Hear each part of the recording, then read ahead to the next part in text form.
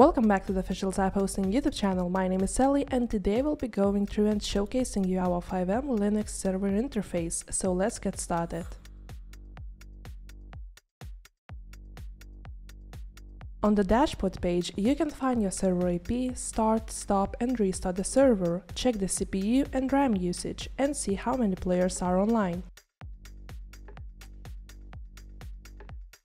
On the statistics page, you can find the overall usage of your server. For example, you can select to see only the usage of your RAM, CPU and slots of the last 24 hours.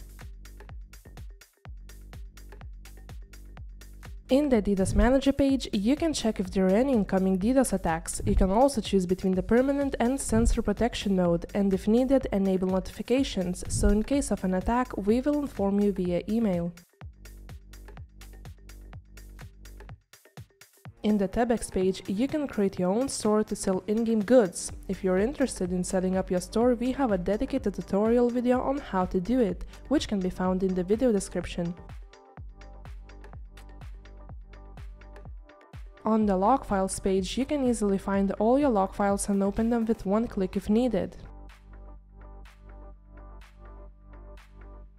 On the event log page, you can check we stopped, started or restarted the server, and if the server crashes, you can find the log file of the unexpected shutdown. On Live Console page, you will find the console of your server. This can be helpful if, for example, the server does not run after a mod installation or you want to pay close attention to what is happening. In addition, you can also run server commands to administer the server without being online. On the settings page, you can change the name and description of the server, make yourself an admin, enable or disable script hook, change resource settings if they are installed, fully reset the server, and much more.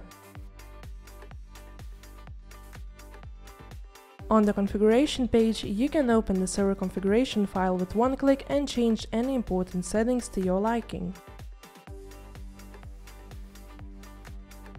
On the versions page, you can enable or disable auto updates or change the FiveM version to your liking.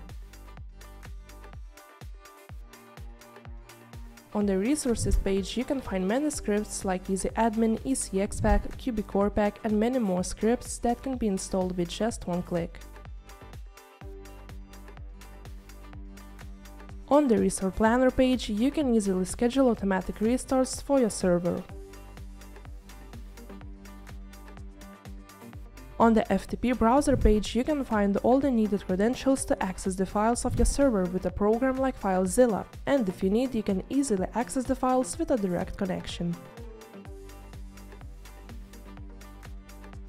On the database page, you can easily create, restore, make backups or enable auto backups of your database. You will also find the credentials if you want to access the database with a program like Navicat, and if needed, you also have direct access to the database with just one click.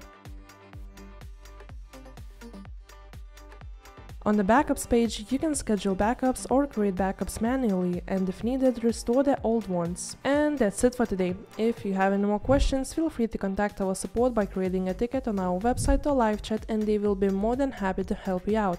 Now, have a lovely rest of the week. Bye.